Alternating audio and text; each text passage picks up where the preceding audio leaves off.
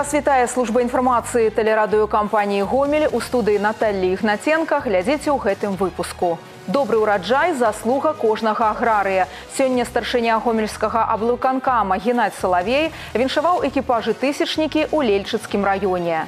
Міжнароднае супрацоўніцтва рэгіянальнае аддзяленне гандлёва-прамысловай палаты прадставіла справаздачу аб выніках работы.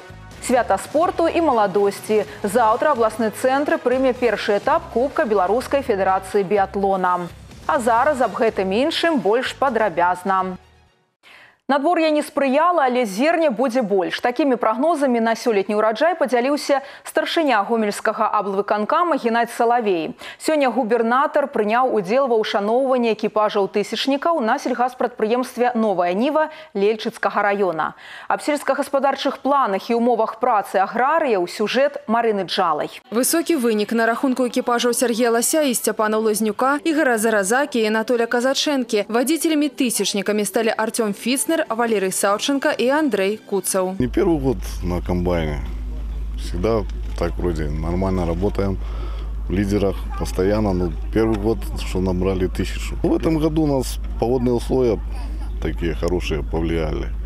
Зерно налилось. В моем лидерстве весь коллектив принимает участие. Я же, без, ну, они набирают, молотят, я перевожу. Каб завяршыць жніво ў Лельчыцкім раёне патрэбны яшчэ тыдзень. Тут ужо намалацілі звыш 16 тысяч тонн збожжа. Гэта перавышае леташні вынік. Усяго на палетках раёна плануюць сабраць збожжа на трэць больш, чым у 2018. Ураджайны чакаецца на 7 центнераў з гектара больш. Невзирая на погодные условия, э, коллективы механизаторов, водителей в этом году подобраны достойные. Хочу их поблагодарить за эту работу, за трудолюбие, за ту работу, которую они сегодня проводят и каждодневный кропотливый труд. Усяго у гаспадарках Гомельшчыны 34 экіпажы намалацілі звыш тысячы тонн зерня і два больш за 2 тысячы. Перавезлі звыш тысячы тонн больш як 90 вадзіцеляў. Звыш 70% плошаў адведзеных пад зерневы ў рэгіёне ўжо ўбралі. На малот склаў амаль 540 тысяч тонн збожжа. Летась у такую пару было на 100 тысяч менш. Позиция Гомельского босполкома и профсоюзных организаций направлена на то, чтобы не обходить мимо людей, которые сегодня непосредственно заняты в производстве потому что они вносят весомый вклад в наш каравай. Не только в хлеборобном деле, но и в других направлениях, которые необходимо. Сегодня, чествуя наших тружеников, механизаторов, комбайнеров, водителей, мы в первую очередь выражаем слова благодарности за их труд. Труд, который сегодня необходим для того, чтобы собрать урожай, тот, который выращен на Гомельской земле. Да, есть определенные проблемы у нас, которые мы сегодня имеем в области производства зерна. Да, мы выходим на уровень больше уровня прошлого года, будем иметь в этом определенном показателе и определенные выше производственные показатели и тоже и валом сборе. Поэтому задача, которая стоит на следующий год, конечно, нарастить. И позиция сегодня Босполкома – это совершенствование системы земледелия, совершенствование системы севооборота. Это уже вопросы рассмотрены, и на сегодняшний день они требуют реализации. Люди у нас есть, потенциал у нас имеется, поэтому нужно просто его реализовать. Сур'ёзныя спадзяванні на кукурузу, але зноў жа смелыя разлікі ва ўмовах зменлівага настрою надвор'я рабіць рызыкова. Разам з тым сёлета атрымалася павялічыць плошы, адведзеныя пад гэтую культуру 100 тысяч гектараў супраць 60 леташніх. Пры спрыяльных умовах з гэтай тэрыторыі можна будзе атрымаць каля паўмільёна тонн зерня. Марынаджала Валерый Гапанько з Лельчыцкага раёна. Дзяржзаказ па здачы збожжа ў рэгіёне выкананы больш як на палову ад даведзенага задання. Аграрыі паставілі на элеватары амаль 70 тысяч тонн. Дмітрый Котаў наведаў прадпрыемства Калінкавічы хлебапрадукт і даведаўся, як вядзецца кантроль за якасцю і забяспечваецца захоўванне новага ўраджаю. У супрацоўнікаў прадпрыемства Калінкавічы хлебапрадукт зараз, як і ў механізатараў гарачая пара. Гаспадаркі прывозяць апошні цэнтнеры сабранага ўраджаю ў кошт дзяржзаказу газу. За суткі тут прымаюць каля дзвюх тысяч тонн збожжа. Гэта прыблізна 100 машын. Рэжым працы кругласутачны. Напружаныя умовы не адмяняюць строгіх патрабаванняў па якасці. У любы час абавязковы жорсткі кантроль. У лабараторыі правяраецца вільготнасць, адсутнасць шкоднікаў, смецця, адпаведнасць колеру і паху. И мы распределяем уже, куда отправлять сухое, средней сухости, влажное, либо сырое. И уже доводим до кондиции. Бывает, по, на продовольственные показатели зерно не проходит, То есть мы принимаем его фуражом. К Фуражу более, скажем таки, пониженные требования по показателям качества. Прадпрыемства абслугоўвае пераважна палескія рэгіёны ельскі петрыкаўскі лельчыцкі і жыткавіцкі але некаторыя культуры у залежнасці ад іх наяўнасці ў гаспадарках могуць прывозіць і з іншых раёнаў умяшчальнасць элеватара 64 тысячи тонн зараз ён загружаны на 60 процентаў В любом случае урожай лучше, чем в прошлом году. Качество в начале уборки было получше, сейчас пошло немножко похуже, пошло больше фуража. Даведзены план па дзяржзаказе для прадпрыемства 23 тысячи тонн зерня пшаніцы і жыта. Заданне выканана прыблізна на 70 процентаў. Па разліках аграрыям неабходна яшчэ каля 7 дзён. Дмітрий Котаў, Сергей Лукашук, тэлерадыёкампанія Гомель з Калінкавічаў. Прадстаўнікі мясцовых уладаў заўтра адкажуць на званкі грамадзян. У гэтую суботу зноў пройдуць прамыя лініі. У гомельскім аблвыканкаме звароты будзе прымаць старшыня абласнога савета дэпутатаў Кацярына Зінкевіч. Нумар тэлефона ў гомелі 33 12 37. Прамая лінія працуе з 9 до 12 гадзін.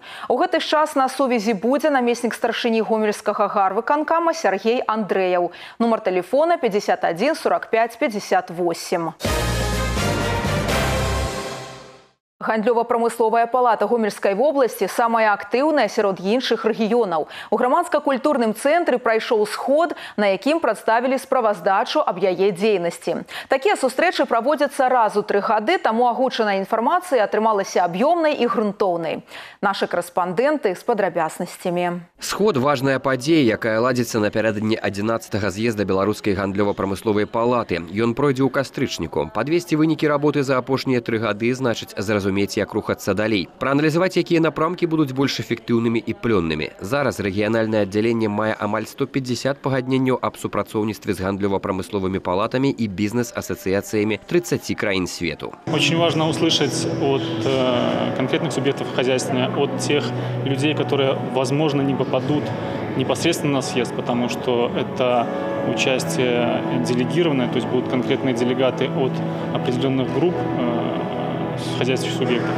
Но сегодня есть возможность действительно сверить часы, уточнить, каким курсом мы идем, правильно мы развиваемся и достаточно ли мы предпринимаем, предпринимаем усилий для того, чтобы достичь э, эффективного результата. Умовы рынку ў свеце мяняюцца вельмі хутка. Паспяваць за зменамі быць актуальнымі і запатрабаванымі складана, але гэта трымае ў тонусе. Асноўны імпарцёр тавараў Беларусі па-ранейшаму Расія, але і тут ёсць магчымасці для пашырэння рынкаў збыту. У прыватнасці актывізаваць продаж за Урал. Пакуль жа сярод стратэгічных партнёраў Казахстан больш упэўнена ідзе супрацоўніцтва з Малдовай, асвойваюцца рынкі Харватыі і Індыі. Три основных направления мы сейчас реализуем. В принципе, как и вся белорусская торгово-промышленная палата, сертификация, которая является нашей монопольной услугой, оценка с экспертизой, не связанная с сертификацией, и внешнеэкономическая деятельность. В принципе, все три направления у нас в этой трехлетке, э, за которую будем отчитываться, э, прошли очень, очень динамично. Все сохранили свою позитивную, положительную динамику роста, что нас радует. И э, в этом году, тоже начиная очередной наш трехлетний этап, э, мы э, начинаем тоже с хорошей динамикой, везде прирастая. Гомельскае аддзяленне беларускай гандлёва-прамысловай палаты аб'ядноўвае звыш 360 вядучых прадпрыемстваў і арганізацый рэгіёна, прадстаўнікоў буйнога, сярэдняга і малога бізнесу, якія вырабляюць больш як 80 процентаў прамысловай прадукцыі рэгіёна. Сярод членаў палаты Беларусьнафта, БМЗ, Мазырскі нафтаперапрацоўчы завод, Гомсельмаш і многія іншыя валаўтваральныя вытворчасці. Марына Джалая, Сергей Нігярэвіч, Валерый Гапанько, тэлерадыёкампанія Гомель. Яны фарміруюць прастору. 11 жніўня ў Беларусі адзначаць дзень будаўніка. Напярэдадні прафесійнага свята ў гомелі адбыўся ўрачысты сход. Такія мерапрыемствы гэта ў першую чаргу прыемныя сустрэчы. Асабліва для тых, хто адправіўся на заслужаны адпачынак. Людзям, якія дзесяцігоддзі працавалі поруч, заўсёды ёсць аб чым пагаварыць. І не толькі ўспомніць былое, але і падзяліцца поглядамі на работу сваіх сучасных калег.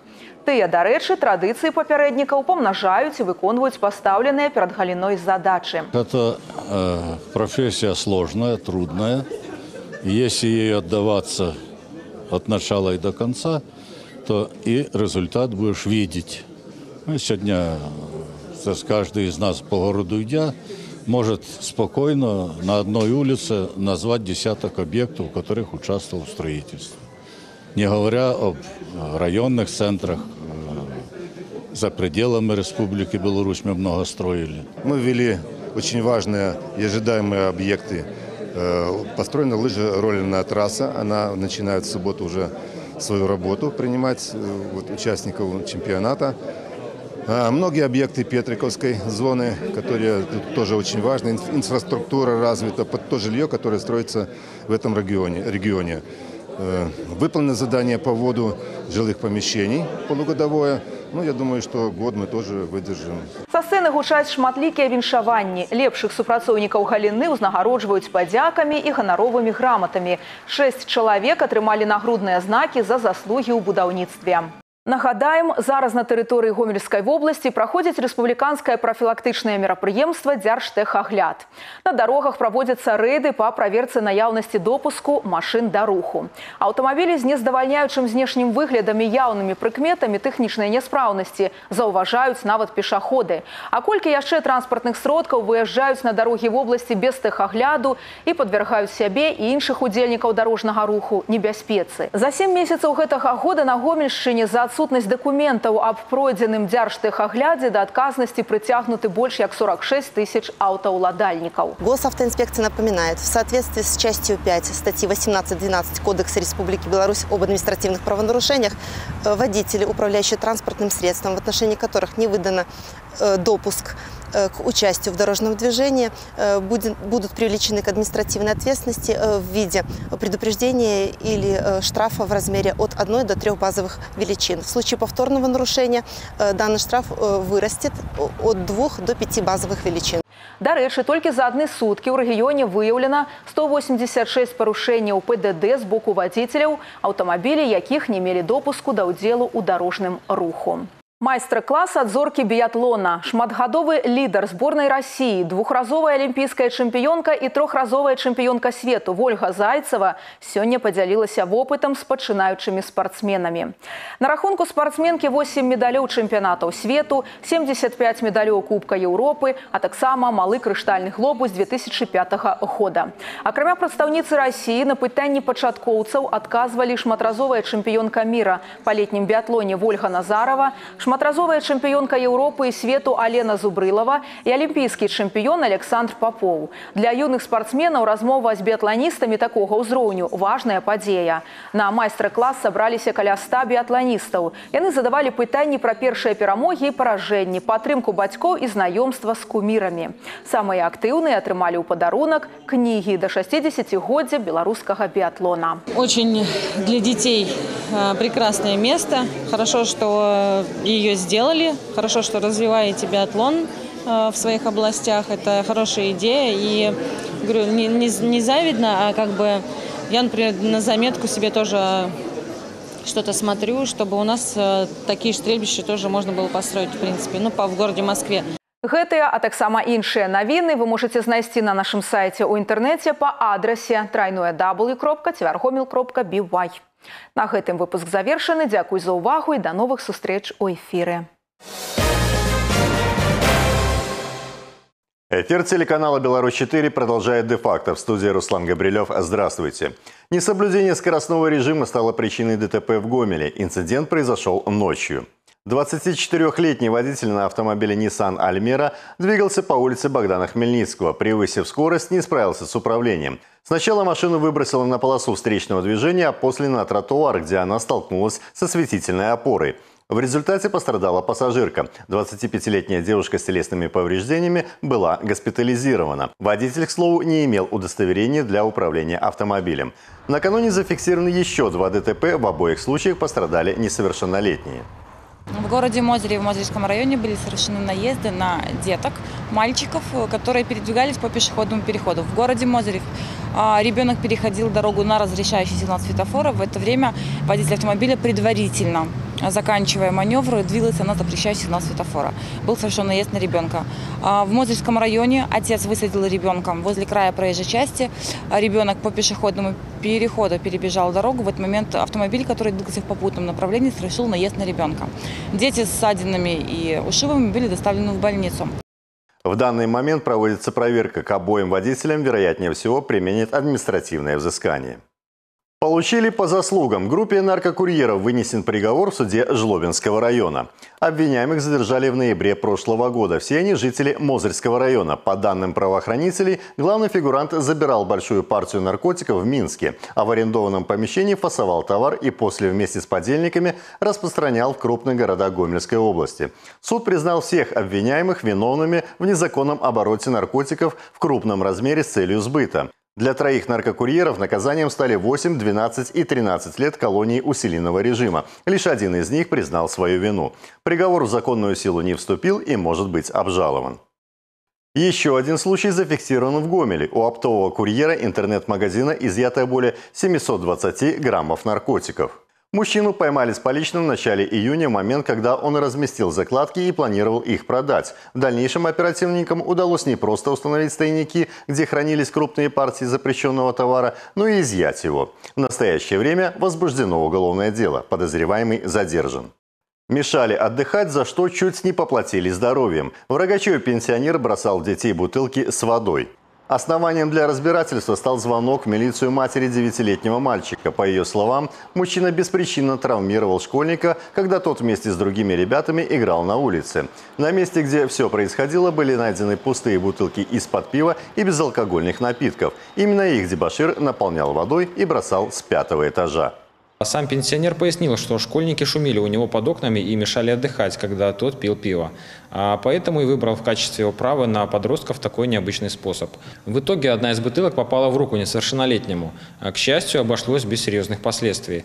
А пенсионера не задерживали, однако возбудили в отношении его уголовное дело по статье 339 Уголовного кодекса Республики Беларусь «Хулиганство». Хотел заработать, а вместо этого стал фигурантом уголовного дела. В Речице 32-летний гражданин России хотел вернуть украденного питбуля за вознаграждение. Животное было похищено возле магазина, пока хозяйка совершала покупки. Предполагаемый похититель был установлен с помощью камер видеонаблюдения. Очень быстро он сам объявился в надежде получить деньги. Однако теперь ему грозит уголовное дело. Это все новости на сегодня. Оставайтесь с нами и берегите себя. Я Руслан Габрилев. Благодарю за внимание. До свидания. На телеканале «Беларусь-4 Гомель» новости спорта. В студии Максим Савин. Здравствуйте. Гомель соберет лучших биатлонистов Беларуси. В областном центре уже завтра стартует Кубок Белорусской Федерации биатлона. Он будет состоять из пяти этапов, одного летнего и четырех зимних. Участие в турнире примут спортсмены со всей страны. Команду Гомельской области будут представлять биатлонисты из Гомеля и Жлобина. Только в этих городах региона развивается данный вид спорта. До этого момента не было вообще ничего, кроме тира. Вот. И почему на нас обратили внимание, несмотря на это, что не было ничего, а, Гомель и Жлобин все-таки взяли в прошлом сезоне а, много очень медалей. У нас призеры кубков а, личного первенства. У нас дети в национальной сборной, поэтому вот благодаря нашей работе вот это наконец нам построили. Поддержать юных спортсменов на трибунах могут все желающие. Для удобства будут организованы дополнительные рейсы автобуса номер 14, вокзал Якубовка. В субботу старты начнутся в 9.50 и завершатся в 17.30. В воскресенье продолжится с 9.50 до 14.00.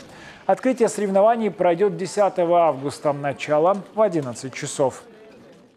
Сегодня матчем в Жодино стартовал 17-й тур чемпионата Беларуси по футболу высшей лиги. В гости к местному торпедо «БелАЗ» приехала Мозырская «Славия». Автозаводцы располагаются на шестом месте в турнирной таблице, Полишуки на девятом. Завтра футбольный клуб «Гомель» на своем поле принимает футбольный клуб «Слуцк». Зелено-белых от соперника отделяет всего 4 балла и 3 строчки в турнирной таблице. Матч на поле стадиона «Центральный» стартует в 17.00. Хоккейный клуб «Гомель» завтра проведет пятый матч группового этапа розыгрыша Кубка Руслана Салея. Соперник – хоккейный клуб «Бобруйск». В турнирной таблице группы А рыси располагаются на второй строке, соперник на четвертой. Игра состоится на льду арены «Металлург» в Жлобине. Начало в 13.00.